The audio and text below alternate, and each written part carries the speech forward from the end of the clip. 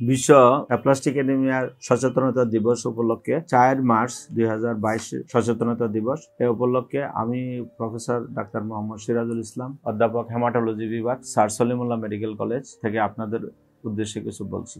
আপনাদের সচেতনতা বৃদ্ধির জন্য আমরা এই প্রোগ্রামটুকু গ্রহণ করেছি।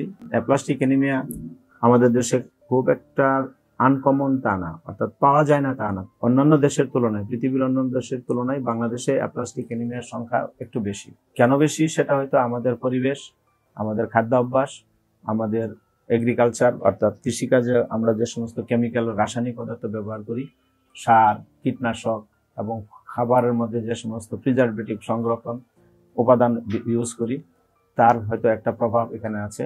যে কারণে আমাদের দেশে অ্যাপ্লাস্টিক এনিমিয়ার সংখ্যা অন্যান্য দেশের তুলনায়, অর্থাৎ ইউরোপ, আমেরিকার তুলনায় বাংলাদেশে বেশি। আপনারা যারা এই রোগে ভুগছেন, তার, তাদের উদ্দেশ্যে বলছি, আপনারা আমার কথাগুলো মনোযোগ দিয়ে শুনুন। হতাশ হওয়ার কোনো কারণ নেই, এই রোগ হলেও এর চিকিৎসা আছে। অ্যাপ্লাস্টিক এনিমিয়া হচ্ছে একটা রক্ত স্বল্পতার রোগ যার উৎপত্তি হয় বোন অর্থাৎ হাড়ের ভিতরে যেখানে রক্ত তৈরি হয়, সেখানে। এবং এটা একটা অটোইমিউন ডিজিজ আমরা বলি। নিজের শরীরের বিরুদ্ধে নিজের কতগুলো অ্যান্টিবডি তৈরি হয়, যা সেলকে এবং প্রোডাকশনকে কমায় দেবে। সেই ধরনের একটা রোগকে অর্থাৎ তখন দেখা যায় কমে যাওয়ার কারণে ব্লাডে যখন এটা অ্যানিমিয়া হবে, রক্ত স্বল্পতা থাকবে, আর শ্বেতকণিকা কমে যাবে, তার মানে এখানে আমরা বলি লিকোপেনিয়া হবে এবং প্লাটলেট কাউন্ট কমে গেলে থ্রম্বোসাইটোপেনিয়া হবে। কখনো তিনটা লাইনই কমে যেতে পারে, কখনো দুইটা, আবার কখনো একটা। এই যে কমে গেল, এটাকে আমরা ডাক্তারি ভাষায় বলি autoimmune disease autoreactive T cell T cell mediated autoimmune disease oligoclonal autoimmune disease যেখানে পেরিফেরাল ব্লাডে থাকবে প্যানসাইটোপিনিয়া এবং মেরোতে হাইপোসেলুলার মেরো উইদাউট এনি অ্যাবনর্মাল সেল এটা হলো ডাক্তারি ভাষায় আমরা এটাকে বলি। আর এতক্ষণ যা বলছি বাংলা আপনাদেরকে বোঝার সুবিধার জন্য বাংলা ভাষায় তারই অনুবাদ করছি। অ্যাপ্লাস্টিক এনিমিয়া সাধারণত তিন ধরনের হয়ে থাকে। একটা হলো আমরা বলি non severe aplastic anaemia severe না একটা সিভিয়ার অ্যাপ্লাস্টিক এনিমিয়া এবং আরেকটা হলো ভেরি সিভিয়ার অ্যাপ্লাস্টিক এনিমিয়া আরেকটা জিনিস হচ্ছে যে অ্যাপ্লাস্টিক এনিমিয়া প্রাইমারি বা একটা সেকেন্ডারি মানে কিছু কারণ থাকে, কিছু রোগ থাকে যেগুলোর কারণে যেমন এসএলই একটা রোগ আছে যে এরকম রোগে hepatitis B hepatitis C virus thyroid disease এগুলোর কারণে অ্যাপ্লাস্টিক এনিমিয়া হতে পারে। এটাকে আমরা সাধারণত সেকেন্ডারি অ্যাপ্লাস্টিক এনিমিয়া বলি। আরেকটা হচ্ছে যে ইডিওপ্যাথিক তো যার কোনো কারণ জানা থাকে না, কারণ ছাড়াই রক্তটা উৎপাদন, রক্তের উৎপাদন কমে যায়, তখন এটাকে বলি আমরা ইডিওপ্যাথিক অ্যাপ্লাস্টিক এনিমিয়া আরেকটা কারণ আছে, সেটা হচ্ছে আমরা ইনহেরিটেড বংশগত কারণে কারও কারও দেখা যায় বংশগত কারণে কিছু রোগ বংশ পরস্পরাই দাদা, দাদি, বাবা, মা থেকে ছেলে মেয়ে, বাচ্চারা পেয়ে থাকে। সেটাকে আমরা বলি ইনহেরিটেড অ্যাপ্লাস্টিক এনিমিয়া তো এর লক্ষণগুলো কি?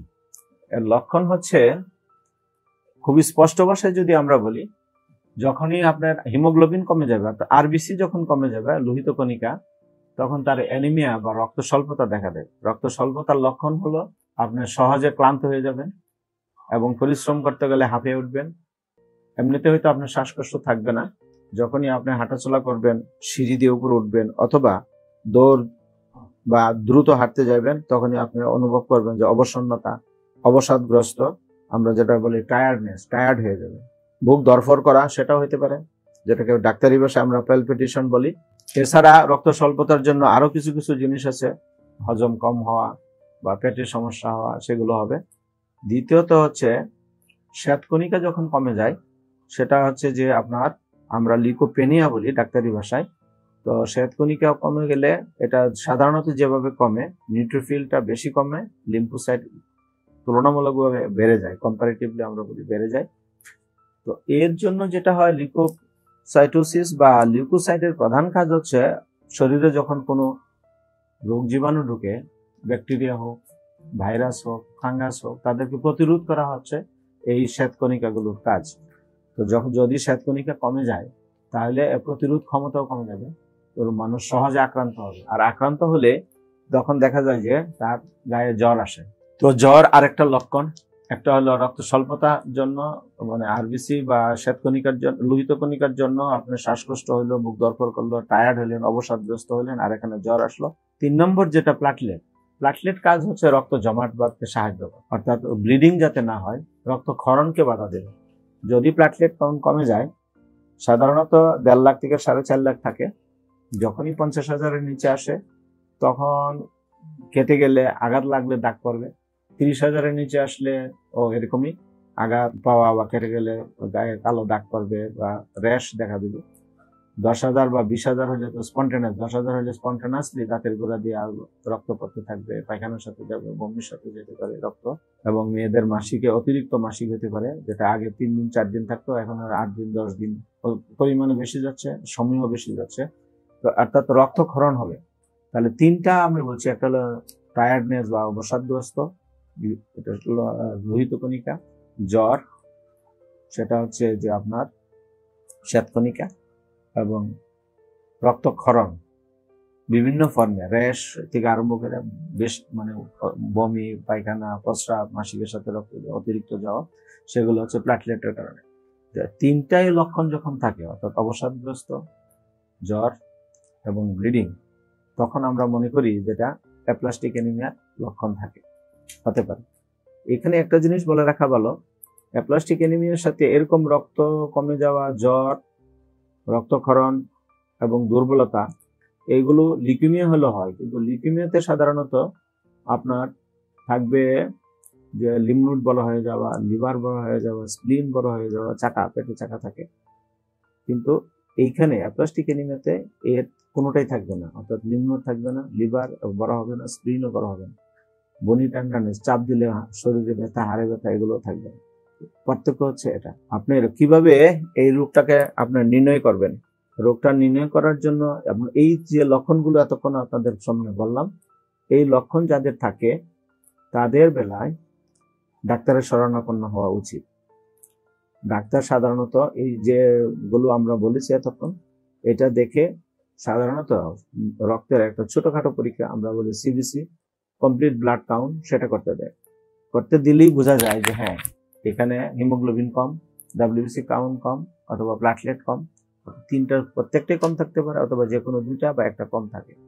সেক্ষেত্রে কিন্তু ব্লাডের ভিতরে কোনো অ্যাবনর্মাল সেল অস্বাভাবিক যেমন ব্লাস্ট ক্যান্সার সেল এগুলো থাকবে না। আর হলো এখানে নিউট্রোফিল আপনারা যারা কিছুটা বুঝেন মেডিকেল সায়েন্স সম্বন্ধে অল্প ধারণা আছে, তাদের বেলায় বলছি যে এখানে নিউট্রোফিল কমে যাবে আর লিম্ফোসাইট বেড়ে যাবে প্লাটলেট কম থাকবে। তো ডায়াগনোসিসের জন্য দুটো জিনিস। এই এরকম লক্ষণ বা রক্তের এরকম পিকচার নিয়ে অন্য রোগও আসতে পারে। কীভাবে আপনি এটা ডায়াগনোসিস করবেন? কনফার্ম করবেন। কনফার্ম করার জন্য আপনাকে বনমেরু টেস্ট করতে হবে। বনমেরু করলে লিকিমিয়া হলে দেখা যায় যে বনমেরুতে সেল অতিরিক্ত, অত্যন্ত বেশি, যা স্বাভাবিক, তার চেয়েও বেশি থাকে। কিন্তু অ্যাপ্লাস্টিক এনিমিয়ার বেলায় বনমেরু থাকবে একদম শূন্য। এখানে প্রায় শূন্য। খুবই অল্প পরিমাণে সেল থাকে আর ফ্যাট সেল মানে চর্বির সেল বেশি থাকে। সে কারণে আমরা তখন এইটা দেখে এবং মেগা কেরোসাইড বোন মেরো যে প্লাটলেট যেখান থেকে তৈরি হয় মেগা সে মেগা কেরোসাইডের সংখ্যা অ্যাবসেন্ট থাকতে পারে অথবা খুবই অল্প মাত্রায় থাকে। সেইটা দেখে আমরা বুঝি যে এটা অ্যাপ্লাস্টিক তাহলে আরবিসি কমে যাবে ডাব্লিউবিসি ম্যাচিউর সেল কিন্তু কোনো এম ম্যাচিউর মানে অস্বাভাবিক ব্লাস্ট থাকবে না, আর হলো মেগা কেরোসাইড কমে যাবে। কিন্তু যেটা একটু আগে আমি বলছিলাম যে লিকুমিয়া কোনো কোনো লিকুমিয়া এরকম প্রেজেন্ট করতে পারে, তিনটা সেল লাইন পেনসাইটোকিনিয়া নিয়ে প্রেজেন্ট করে, তাদের বেলা মেরো হাইপার সেলুলার সেল বেশি থাকবে এবং ব্লাস্ট সেল থাকবে। আরটা আছে এমডিএস এমডিএস মাইলোডিসপ্লাস্টিক সিন্ড্রোম সেটাও অ্যাপ্লাস্টিক এনিমিয়ার মতো, তবে সেইখানে সেল অনেক বেশি থাকে মেরোতে, কিন্তু অ্যাপ্লাস্টিক এনিমিয়াতে সেল কম থাকবে, ওখানে মেগার সংখ্যা নর্মাল থাকবে অথবা বেড়েও যেতে পারে, সাধারণত বেড়ে যায়, কিন্তু এখানে অ্যাপ্লাস্টিক এনিমিয়াতে মেগার সংখ্যা কম থাকবে। এগুলো অবশ্য যে কথাগুলো বলছি, এগুলো অনেকে হয়তো আপনাদের কাছে বোধগম্য নাও হতে পারে।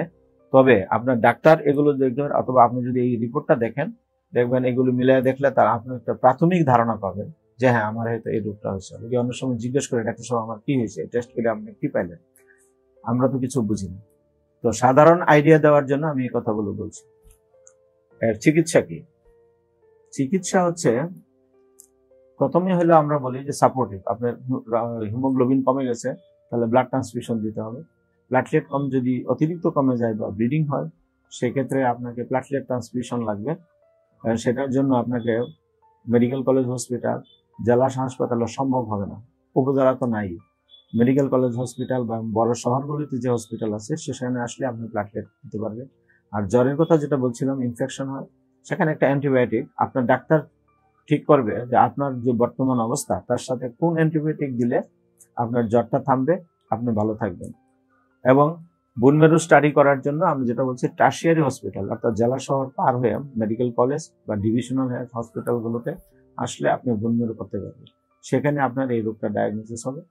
আর ট্রিটমেন্টের জন্য যে তিনটা কথা বলছি, যে প্রাথমিকভাবে হয়তো আপনার হয়তো রক্ত দেওয়া লাগবে। দ্বিতীয় হচ্ছে যে অ্যান্টিবায়োটিক লাগবে।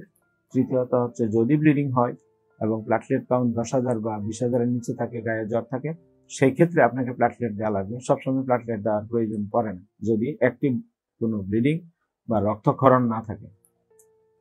আর ট্রিটমেন্টের জন্য যেটা আছে, আরও কিছু ট্রিটমেন্ট আছে ডেফিনিট ট্রিটমেন্ট সেগুলো হচ্ছে যে, আপনার ডাক্তার ঠিক করবে যে, আপনার অ্যাপ্লাস্টিক এনিমিয়াটা কোন ক্যাটাগরি কি ট্রিটমেন্ট দিলে ভালো হবে? তিনটা ক্যাটাগরির কথা আমরা বলছি। নন সিভিয়ার অ্যাপ্লাস্টিক এনিমিয়া এটা সাধারণত ভালো হয়ে যায়। সত্তর থেকে আশি ভাগ রোগী আপনার ইমোনোসাপ্রেসিভ থেরাপি অথবা immuno stimulant plus suppressive therapy দিলে ভালো হয়। ভালো হইতে যে সময়টা লাগে, সেটা আমরা একটু পরে বলছি।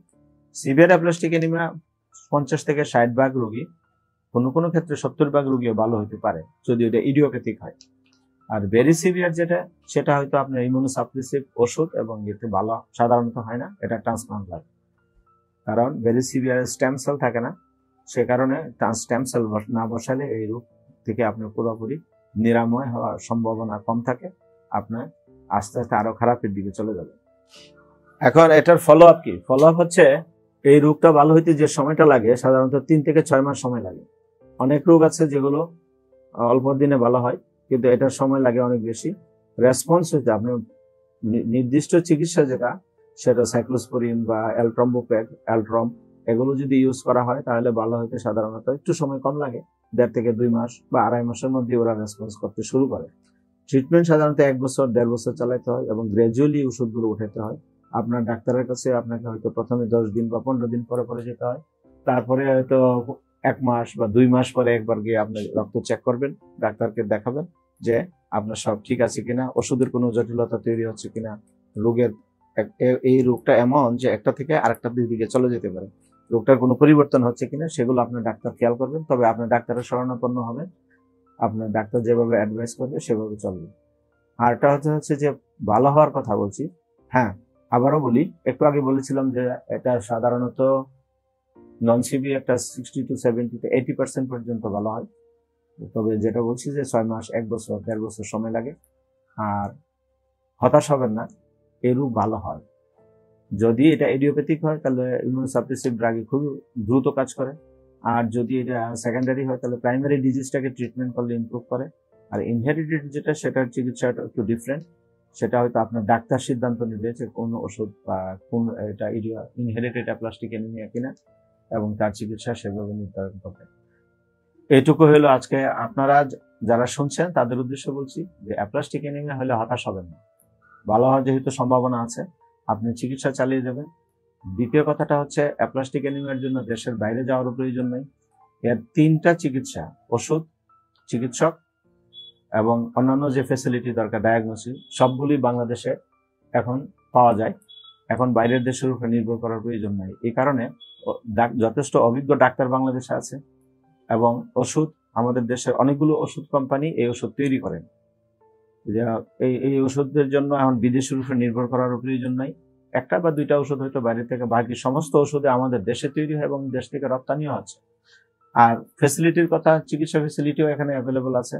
যেখানে ওষুধ আছে, চিকিৎসা আছে, চিকিৎসক আছে হসপিটাল আছে, সেখানে আপনাকে হতাশ হওয়ার কোনো যৌক্তিক কারণ থাকতে পারে না এবং পার্শ্ববর্তী দেশে ছোটাছুটি করারও প্রয়োজন নাই। আপনি আপনার চিকিৎসার উপরে আস্থা রাখেন, চিকিৎসকের উপরে আস্থা রাখেন, আল্লাহর উপরে ভরসা করেন।